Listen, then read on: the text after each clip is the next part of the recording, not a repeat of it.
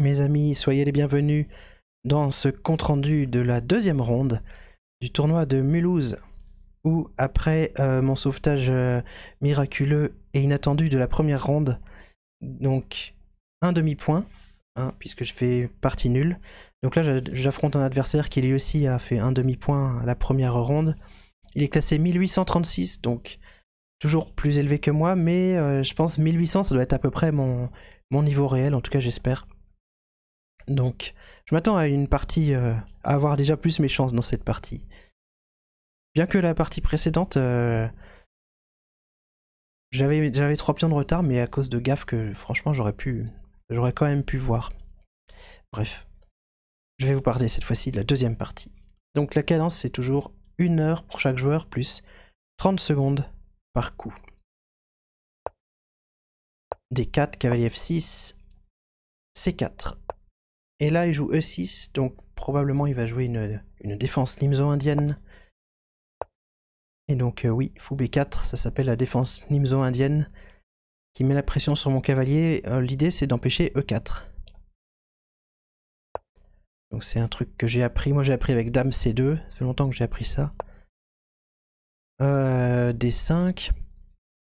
Donc là, déjà, euh, je sais pas exactement la théorie ici. Euh, enfin, si, pour l'instant, si. Pour l'instant, j'ai appris qu'il faut échanger, pardon. C'est s'il rock avant et qu'il fait D5 un peu plus tard que j'étais pas sûr. Fou G5, rock E3, donc pour H6. Pour l'instant, tout est hyper standard, si je ne me trompe pas. Et puis là, j'ai deux possibilités. Euh, John Bartholomew sur Chessable, il recommande d'échanger ici. Et puis on a une partie euh, où il n'y a rien de spécial. Enfin, c'est facile à jouer, c'est relativement simple. Ou alors, euh, la façon plus ambitieuse et plus compliquée, mais moins facile, c'est de jouer fou H4. Conserver la tension, là. Mais, voilà, du coup, on, on le laisse continuer à... Enfin, il va, il va pouvoir jouer un coup comme C6 ou même C5, des coups agressifs. Et, nous, on est un peu en retard en, termes de développement. Là, il faut encore qu'on joue plusieurs coups avant de pouvoir rocker. Donc j'ai joué ça, j'ai joué fou H4. Tour E8. Ah oui, ah, ce coup-là, tour E8, il a mis... Déjà, le, coup précédent, euh, le coup de rock, il a mis beaucoup, beaucoup, beaucoup de temps à le jouer. Tour 8 aussi, très très long. Euh, je me souviens qu'au bout de 10 coups, il avait déjà plus qu'une demi-heure. Euh, alors que moi j'avais encore 59 minutes, parce que c'était encore l'ouverture. Donc là j'étais satisfait de mon avance à la pendule. Fou des 3. Et là, voilà, c'est 5, le coup, euh, le coup agressif que je, m'attendais de recevoir à un moment ou à un autre. Et surtout avant d'avoir eu le temps de, de rocker. Donc là, euh, pour moi, la menace, c'était qu'ils prennent ici. Je peux pas reprendre parce qu'il y a le clouage. S'il prend euh, en D4. J'avais pas très envie de prendre moi-même. Parce que D4 m'embêtait. Qui attaque mon cavalier cloué. Et qui attaque mon pion. Euh, mon pion, on peut pas reprendre. Donc ça, ça avait pas l'air top. Enfin, pour moi, c'était même, euh, c'était même perdant. Après, euh, peut-être que je peux jouer A3 dans cette position. C'est que s'il prend mon cavalier, je prends son fou. Mais là, je pensais qu'il gagnait un pion avec cette variante. Là, j'ai pas envie de reprendre à cause de ça. Euh, sauf que non, puisque là, j'ai attaqué son fou. Donc, en fait, ça aurait pu être jouable, mais c'est pas pour rien que je vous ai dit que fou H4 était plus compliqué que, que fou prend F6. Bref, moi j'ai eu peur en tout cas de, D4. C'était peut-être pas justifié d'avoir peur de D4. Mais j'ai pas voulu prendre le pion. J'ai décidé de de le laisser euh, de, jouer cavalier GE2 pour développer mes pièces bientôt roquées. Et mon idée c'est que s'il prend mon pion en D4, je reprends avec le cavalier.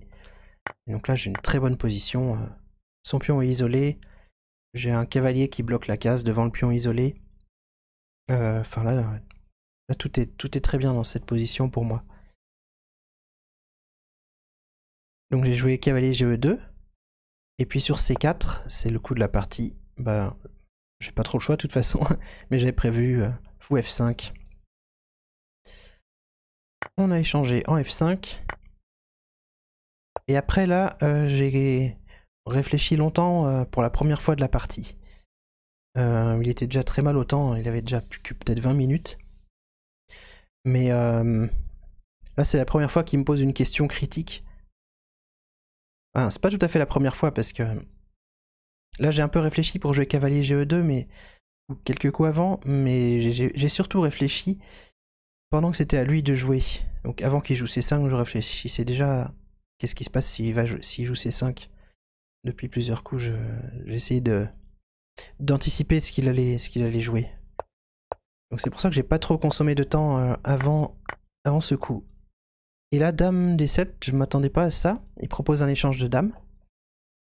En gros, euh, j'ai le choix, soit j'échange les dames et on se retrouve dans cette finale, ou euh, j'ai un petit peu de pression sur le pion faible en D5, donc c'est pas trop mal. Ou euh, je j'enlève ma dame, donc je pensais dame C2. En fait, dame F3 était bien, même dame H3 était bien. Mais j'ai pas. Je sais pas pourquoi j'ai pas trop envisagé ces coups-là. Je pensais que à Dame C2. Et puis sur Dame C2, au final j'ai décidé de pas le faire parce que euh, j'avais un petit peu peur de, me faire attaquer. Euh, que le fou revienne, que la, dame m'attaque, que ses pièces arrivent, la tour, que tout le monde m'attaque. Mais euh, j'ai peut-être eu, peur d'un fantôme là. Parce qu'il n'y a, pas, a pas vraiment, d'attaque. Déjà, si le fou revient, je peux, l'échanger comme ça. C'est pas lui qui va être euh, dangereux. Et puis, j'ai toujours la possibilité de. Enfin, la menace de, prendre en F6, de détruire son roc, et, c'est moi qui vais attaquer là.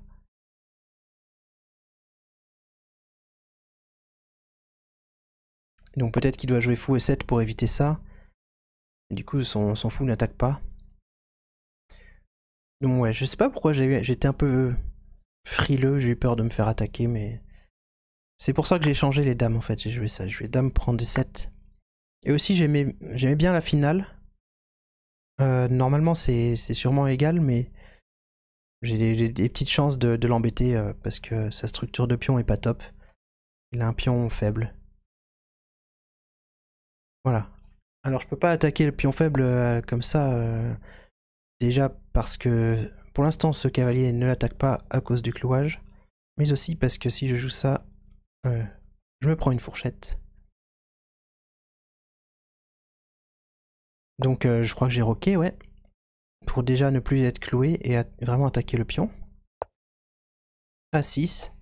Peut-être qu'il voulait empêcher cavalier B5. Il pouvait menacer des trucs. Et moi j'aime bien que mon cavalier mette la pression sur le pion D5. Et là, euh, bah, comme je disais, j'aurais envie de jouer cavalier F4, mais je peux pas à cause de cette fourchette, ou cavalier G3. Mais là, euh, je me fais enfermer mon fou. Donc finalement, j'ai... Ah, alors, ok, d'abord, d'abord, d'abord, j'ai fait A3. Ouais. Pour demander à son fou où est-ce qu'il veut aller. Soit là, soit là, probablement. Je pensais qu'il irait peut-être en E7. Et là, j'étais pas trop sûr de comment continuer à attaquer son pion. Il est allé en D6. Donc là, j'ai proposé d'échanger les fous. Euh, parce que mon fou, il fait rien de toute façon. Et comme il a tous, ses, tous ses pions sur des cases blanches, euh, ils sont bien en harmonie avec son fou à lui. Donc je pense que l'échange des fous, il m'est pas défavorable. Et on se retrouve dans une finale avec des cavaliers des tours. Donc là j'ai repris du cavalier. J'hésitais beaucoup à reprendre avec le pion. Et puis ça m'embêtait un peu de d'affaiblir euh, la case G4, enfin de permettre à son cavalier de venir en G4 dans cette configuration où je peux pas chasser le cavalier à cause de, de E3 qui est mal défendu. Donc j'ai repris avec le cavalier. Ce qui veut dire que je renonce à venir là, j'avais envie de venir là pour attaquer le pion. Mais euh, c'est ça, après avoir bien réfléchi, euh, je voyais pas... Même en attaquant le pion, euh, bah, il pouvait le défendre avec peut-être cavalier B6, tour D8. Il arrivait quand même à le défendre, donc mon, mon plan d'attaquer le pion, c'est pas suffisant. Je me suis dit, je vais mettre mon, cavalier en G3 et après je vais essayer d'avancer mes pions. Lui, il a une majorité à l'aile dame, il va essayer de l'avancer, et moi j'ai une majorité centrale, il faut que j'essaye de l'avancer. D'ailleurs, c'est ce qu'il a joué, B5. Et là, j'ai joué tour Fe1 bah, pour pouvoir jouer F3 et E4. Parce que F3 tout de suite, ça perdait E4, ça perdait E3. Donc voilà, j'ai joué ça. Et là, il a joué coup, euh, il a joué cavalier B6, qui est un peu étrange parce que je m'attendais à ce qu'il joue tour E D8, plutôt E B8 pour euh, permettre à ses pions d'avancer quoi. Parce que dès que le pion A avance, il perd le pion, il perd le pion B5 pour l'instant, sauf s'il le défend comme je viens de vous montrer. Donc en jouant cavalier B6, bah, il autorise plus à, sa, tour de venir défendre le pion. Donc là, il menace jamais d'avancer son pion A parce que je mangerai le pion B. Je pense qu'il a joué cavalier B6 pour mieux euh, protéger son pion D5 et pouvoir libérer l'autre cavalier du coup de la défense. Donc ça tient le pion, mais ça lui permet plus d'avancer sa majorité. Et moi, ça me laisse le temps de d'avancer la mienne. Donc j'ai joué E3, j'ai joué E4, pardon F3, E4. Et là, euh, je sais pas s'il aurait dû prendre et se retrouver dans cette position. Euh, je comprends qu'on n'ait pas envie d'être dans cette position avec les noirs contre le, duo de pions centraux. Euh, ouais, parce qu'il me laisse toujours d'avancer en, attaquant les pièces et puis mes, mes deux tours vont, vont bien les défendre. Donc ça va être... Les noirs vont passer un sale moment. Et ici j'ai un pion passé déjà. Mais parfois on peut arriver à trouver des configurations où, on va bloquer l'avancée des, pions. Ce qu'on appelle des pions pendants, c'est-à-dire c'est un duo de pions mais pas défendu par euh, d'autres pions à côté. Donc c'est un petit peu comme un pion isolé. C'est deux pions qui sont isolés ensemble si vous voulez. Alors ça peut être une, une force euh, ou une faiblesse euh, selon s'il arrive à les, bloquer ou pas. Mais on n'a pas joué ça. Je comprends que ça le... Je comprends qu'il n'ait pas voulu me donner un pion passé. Il a joué tour B8. Mais du coup, moi, j'avance mes pions. Au lieu d'avancer le pion D et E, si vous voulez, je vais avancer le pion E et F. Donc, ouais, E5, le cavalier s'en va. Donc il allait en H7, euh, peut-être qu'il aurait été mieux en D7 ou en E8, je ne sais pas. Donc F4, normal. Tour B7. Et puis là, euh, j'hésitais beaucoup entre F5 ou cavalier F5. Parce que euh, après F5, je continue à avancer mes pions et mon cavalier sait pas trop bien par où passer. Mon cavalier, il a quand même très envie d'aller en D6 en fait. Je me suis dit, je vais d'abord bouger le cavalier, avec l'idée de le mettre là, et ensuite, je pourrais toujours bouger mon pion. Donc on a joué ça. Et puis là, il commençait à être très mal au temps. Je pense qu'il avait plus qu'une minute à ce moment-là déjà. Donc il a gaffé euh, ici par le pion H6 euh, sans aucune compensation. Donc je suis allé en G4 parce que mon cavalier était attaqué. Cavalier A3. Et là, euh, du coup, ça y est, il fait enfin quelque chose à l'aile dame. Il menace mon pion en, B2. Donc j'ai plusieurs possibilités. J'ai vite éliminé la possibilité d'échanger. Parce que là, après, euh, mon pion B, il est très faible, il va se faire attaquer. Les tours, les tours vont s'infiltrer. Donc ça, je voulais pas. Je me demandais ce qui se passait si moi je prenais le pion ici. Parce que, souvenez-vous, son cavalier était en train de défendre le pion. Ce pion-là. Mais comme il allait en A4, euh, mon cavalier pouvait prendre ce pion. Donc en donnant celui-là en échange. Et après, euh, mes deux cavaliers peuvent faire, euh, peuvent faire du dégât probablement dans cette position. Mais son cavalier s'active, il va pouvoir venir là, protégé par un pion. Donc ça me plaisait pas trop non plus. Du coup, j'ai fini par décider de défendre le pion. Alors après, est-ce que je défends avec tour B1 ou tour E2 Je me suis dit tour E2 pour, pour pouvoir jouer l'autre tour en E1 plus tard. Donc je vais tour E2. Et puis là, euh, la partie s'est terminée parce qu'en fait, il est tombé à la pendule. Hum, ouais, je, vous disais, il était très mal au temps pendant l'essentiel de la partie. Il avait joué très lentement l'ouverture et puis, je sais pas, il a peut-être complètement oublié la pendule, il n'a pas accéléré du tout. Et bah voilà, il est, tombé à la pendule. Alors, l'ordinateur, il dit que cette position est très bien pour les blancs. Euh, les blancs sont à plus 3 là. Je peux vous montrer d'ailleurs. Hein. Plus 3,5, ouais.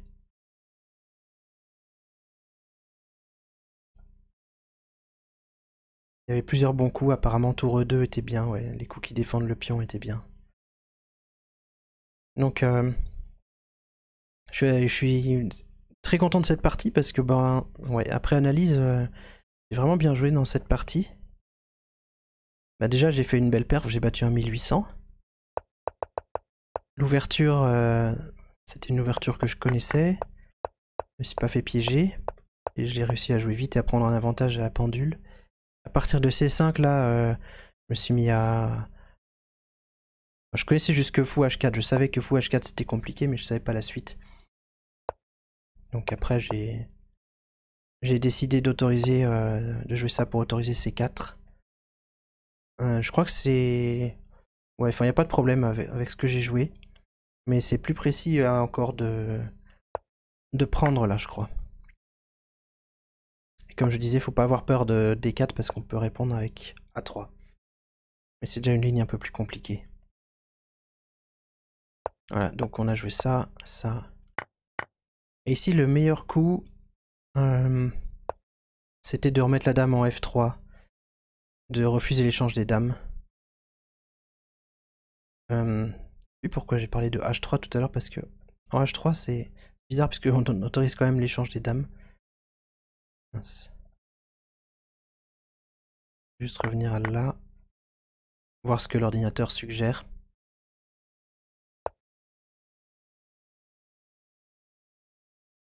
Ah, G4 aussi, éventuellement.